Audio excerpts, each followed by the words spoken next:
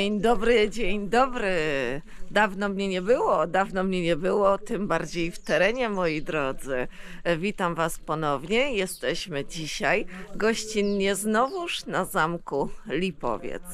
E, jesteśmy tutaj, bo dzieje się to, co archeolodzy uwielbiają najbardziej. Czyli co się dzieje? Wykopaliska!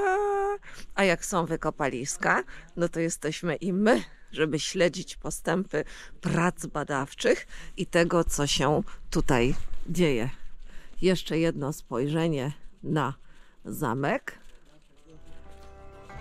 I zaczynamy.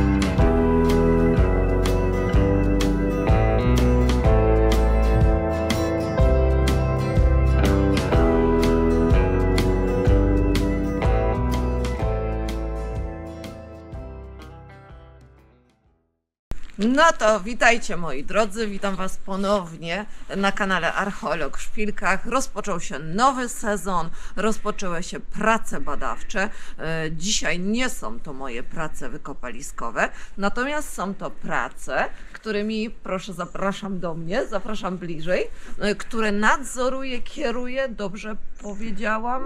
No, nadzoruję s- jako inwestor, tak można powiedzieć, ale również w sensie merytorycznym to, co jest robione, wynika po pierwsze z tego, co zaproponowałem, a co ma związek z powstającym nowym projektem e, zagospodarowania i wyremontowania zamku.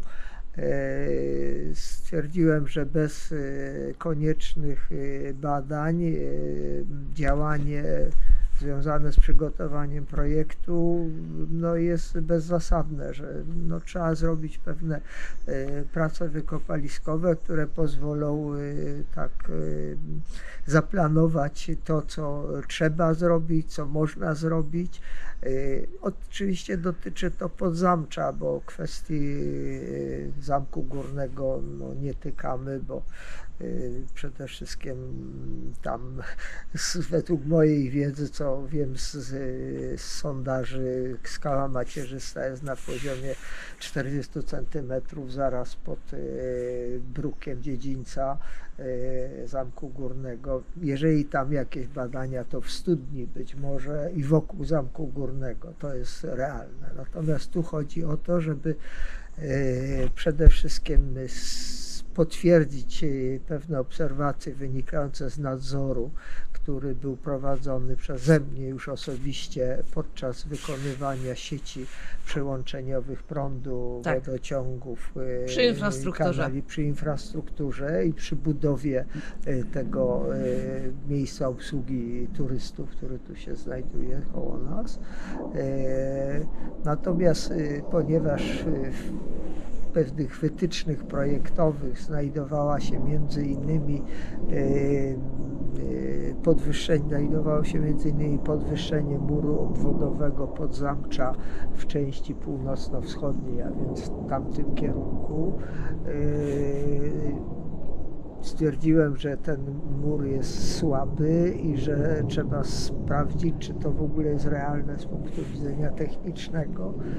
Y, No i już w grudniu rozpoczęły się badania, najpierw elektrooporowe, potem Czyli najpierw nieinwazyjne. Najpierw Tak. nieinwazyjne, georadarowe, potem e, wreszcie wiercenia geologiczne, które miały na celu między innymi stwierdzenie, jaki jest e, poziom użytkowy, pierwotny zamku średniowiecznego, kiedy ewentualnie powstał mur odwodowy podzamcza i w ogóle podzamcze, bo oczywiście zamek był e, rozbudowywany stopniowo, poczynając od e, e, wieży, która była początkiem wszystkiego. Wieża plus studnia, plus prawdopodobnie jakiś mały y, budynek, a potem to w ciągu następnych wieków ulegało y, powiększaniu, powiększaniu, w końcu powstało i podzamcze.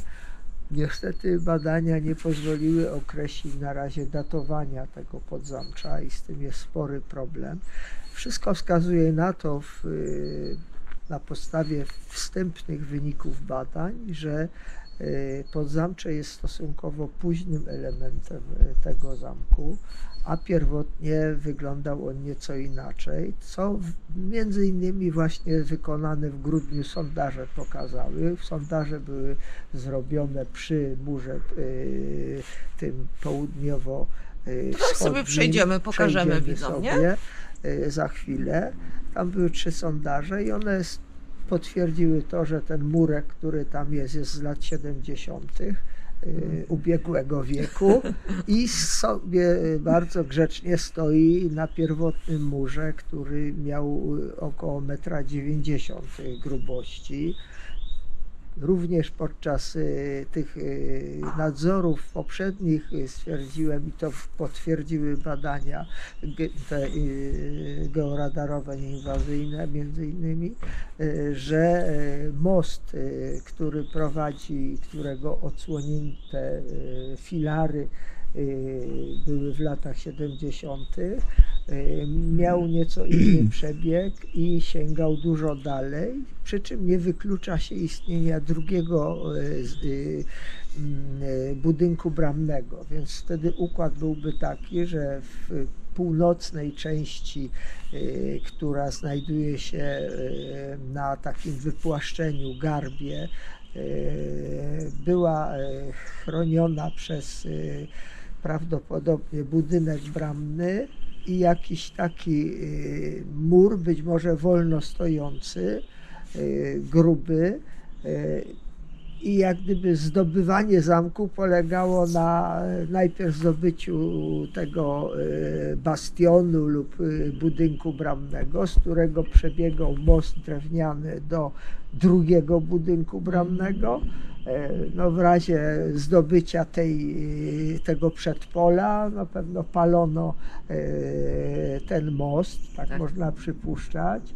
E, A ponieważ teren był znacznie niżej pierwotny podzamcza, to można powiedzieć, że to była ta druga linia obrony. No i trzecia to już zamek zasadniczy. Czyli zdobywając zamek, zdobywano go po prostu w kilku poziomach, prawda? Tak W można kilku poziomach, zresztą jest to praktyka chyba e, częsta, nawet obserwując film, e, jak tam powiedzmy Tatarzy, czy, czy Mongołowie, czy jacyś inni zdobywają, to najpierw wkraczają na pierwszą linię Tak. jakichś e, umocnień, potem na kolejną, na kolejną. Czasem się wpuszcza tam część, żeby wyrżnąć klientów, a, a, a resztę się zatrzymuje. No różne są praktyki wojenne w tym zakresie, ale mówię o tym, że e, chcąc to e, lepiej pokazać, e, robimy te badania, między innymi po to, oczywiście w uzgodnieniu z konserwatorem wojewódzkim w Krakowie, e, żeby ewentualnie e, wykonać projekt e, jakiejś zaadaptowania tego podzamcza z jednej strony, żeby lepiej pokazać historię zamku, Tak.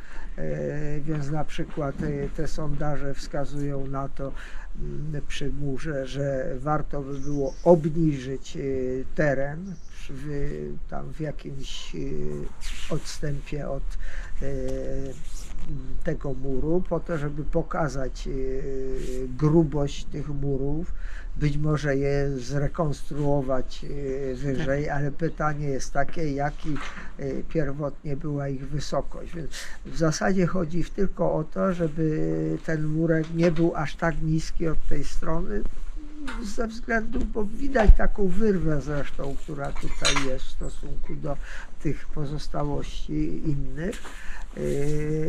I druga rzecz, y, żeby to jeszcze lepiej sprawdzić, ponieważ tam y, podczas badań okazało się, że y, całość nawarstwień to nie są jakieś warstwy kulturowe czy, czy z poszczególnych okresów, tylko że jest to zagruzowanie terenu po prostu intencjonalne, prawdopodobnie w momencie wzniesienia tego muru, po to, żeby wyrównać teren, y, wypłaszczyć go. Kiedy to nastąpiło, tak jak mówię, nadal nie mamy pewności. Natomiast mówię to w kontekście projektu, który ma y, być gotowy we wrześniu i dać podstawę do y, Tak. tego, co tu zrobić na tym podzamczu i w jaki sposób. Na I teraz przerwiemy, gdyż pan Marek poleciał nam z całą werwą, bo wypowiada się dla nas archeolog, pan Marek Szymaszkiewicz. Co najważniejsze, pana Marka możecie kojarzyć z poprzedniego filmu o tym zamku, gdyż tam oprowadzał po zamku. My teraz pójdziemy i pokażemy wam prace badawcze. Natomiast wy, moi drodzy, pamiętajcie o tym, chociaż wy to tam macie Zostawcie łapkę, bo nigdy tego nie robicie. 90% z Was ogląda i nie zostawia łapki, no i co najmniej 50% z Was nie zostawia subskrypcji, więc nie ma na co czekać, a my idziemy Wam dalej pokazać, co tu się wydarzyło. I zobaczcie sobie, prace trwają. Pracownicy doczyszczają.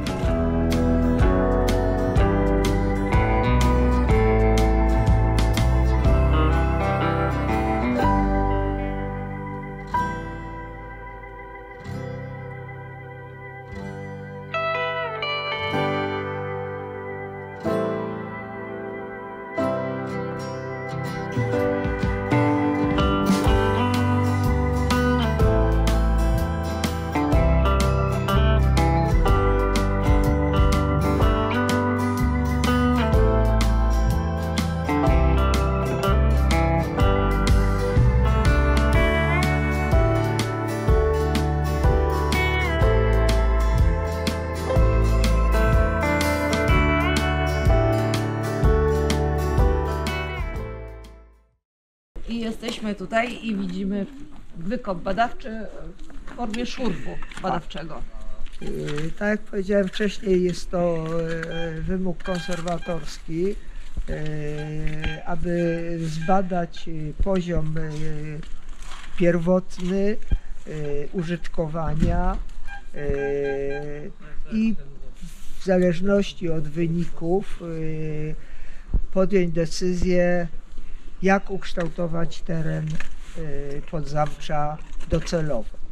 Wszystko wskazuje na to, że praktycznie pozostanie on w podobnej formie jak był. E, Natomiast oczywiście dokumentujemy i w jakiejś formie cyfrowej pokażemy e, jakąś symulację wyglądu zamku poszczególnych e, okresach e, historycznych. Jakby Pan był uprzejmy y, wytłumaczyć nam, może podejdźmy z kamerą bliżej, y, co tutaj zostało ujawnione póki co, No, Panie Marku. ujawniliśmy to, że jest warstwa użytkowa, która towarzyszyła zamkowi prawdopodobnie od wieku XVII być może, bo, bo wtedy miał miejsce pożar, ale nie Przejdę widzimy tu Pana, śladów. może z kamerą tu przejdziemy? e, Tak. Y, Nie ujawniliśmy wyraźnych na razie śladów pożaru, na przykład tutaj na Podzamczu. Zresztą nie powinno ich być, jeżeli to może tam trochę dalej. Mamy poziom za pomocą wierceń ustalony y, skały macierzystej, bo to jest, y, zamek został wzniesiony na y, na skalę, być może nawet pierwotnie był tu jakiś ostaniec skalny na samym wierzchołku, który został jakoś albo włączony w, w, w konstrukcję, albo zniwelowany. Natomiast teren od Zamku Górnego prawdopodobnie opadał i jak bardzo opadał, to widać y, poza murem y, poza murem obwodowym Podzamcza, bo tam jest gwałtowny spadek y, w dół. A cały teren został wyrównany po to, żeby uzyskać takie plateau, Tak. prawda? Tak. E, I y, ślady tego mamy, bo warstwy wyraźnie Może idą, sobie dalej, warstwy idą wyraźnie do góry i tak będą pewno szły, tak jak to pierwotne e, wzgórze e, wyglądało. Natomiast e, no, zupełnie e, świeża jest kwestia Podejdźmy e, bliżej z kamerą, bo nie będzie pana Marka słychać. E, Wracając jeszcze do tego profilu, więc mamy skałę macierzystą, mamy gruz dolomitowy, mamy e, taki pierwotny jakiś humus, les e, i na tym taką e, warstwę też naturalną, która powstała być może w wyniku niwelacji terenu i wreszcie taki poziom, który był użytkowy. Y, Natomiast y, pierwotny przed budową zamku teoretycznie powinien być strop y, tej ciemnej warstwy poniżej tej żółtej, y, bo tam jest materiał archeologiczny. No więc y, wszystko wskazuje na to, że to był ten jak przybyli tu budować zamek, to być może e, właśnie tutaj to się rozgrywało, ale materiału jest niewiele. Natomiast tej To przejdźmy sobie jeszcze dalej. E, Tu jest takie odsłonięcie prawdopodobnie e, związane z taką ścieżką, dostępem do zamku od tej e, bramy. Tylko tak jak mówię, problem jest w datowaniu podzamcza i e, tego muru podzamcza obwodowego i czasu powstania tej bramy. Być może jest to rzecz wtórna, e, być może jest to rzecz wtórna, związana e, z, e, z pracami, trudno powiedzieć, czy w XVI czy w XVII wieku. E, Naprawdę analiza materiału dopiero będzie dokonana, pozyskanego w czasie tych ostatnich badań, będzie e, dopiero możliwa po umyciu materiału, posortowaniu Mhm. i analizie jakiejś głębszej.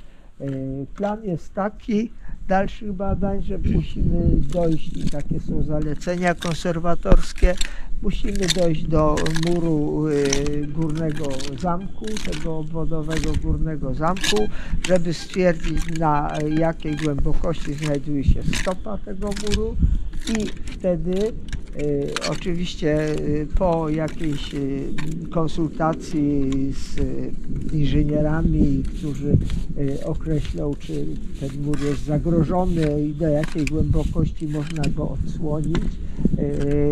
Być może te tutaj spadek terenu, który jest ukształtowany być może w części również przez y, materiał z badań prowadzonych w latach 60. i 70., y, że zostanie usunięty po to, żeby uzyskać y, jeszcze większy plac, tak, Tak.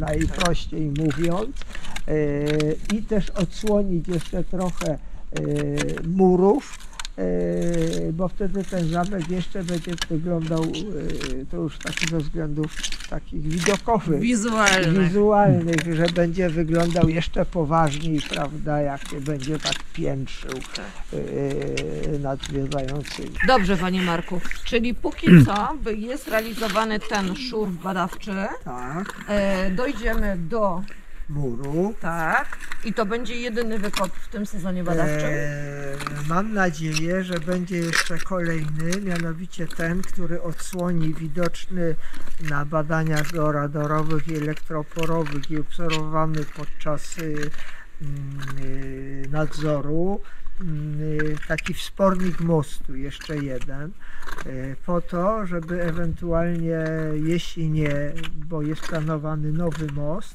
y, jeśli nie y, mm, użyć go do konstrukcji nowej, to przynajmniej chciałbym go w terenie y, pokazać. Na Rozumiem. zasadzie świadka, który gdzieś tam na ten trawniczek będzie tam 10-15 centymetrów z opisem e, będzie wystawał, plus jakaś tablica z rekonstrukcją, e, tak jak mamy tablicę z rekonstrukcją e, budynku bramnego szklaną, taką przezierną, która Mhm. pokazuje nieistniejący budynek bramny.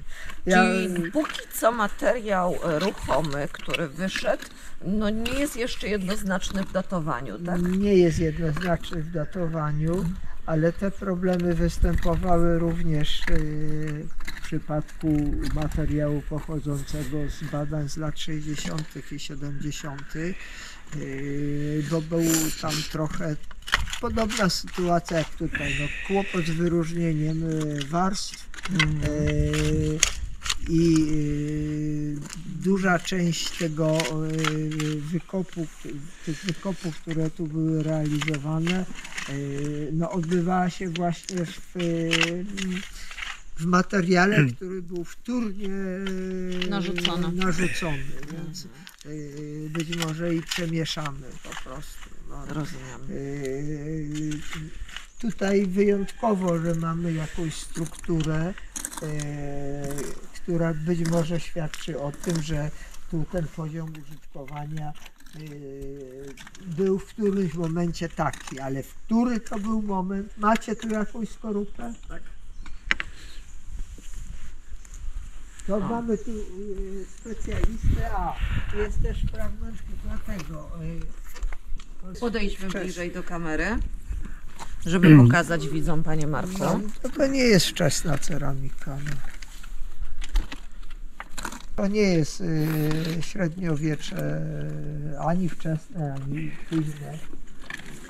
No w końcu jesteśmy na wstępnym etapie badań, moi Badań. drodzy, To więc by świadczyło o tym, że być może ten, cała ta brama tutaj to jest rzecz późna właśnie z tego okresu. I jej Rozumiem. towarzyszy ten chodnik, a y, być może całe podzamcze zostało w tym okresie dopiero ukształtowane.